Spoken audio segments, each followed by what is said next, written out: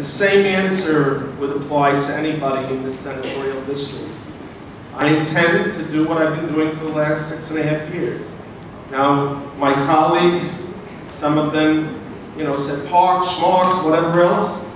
Parks are the only place that children and seniors have to go from their homes and have a safe place where they can enjoy themselves.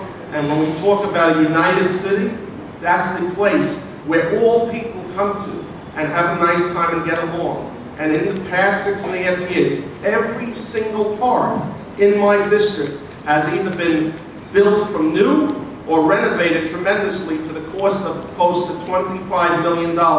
Not that the Senate voted for, or the council voted for, that Felder advocated for to help the community. And that's what people need. And when it comes to education, when public schools, many of them don't have, you mentioned air conditioners, arts programs, science programs. What happened to music in the public schools?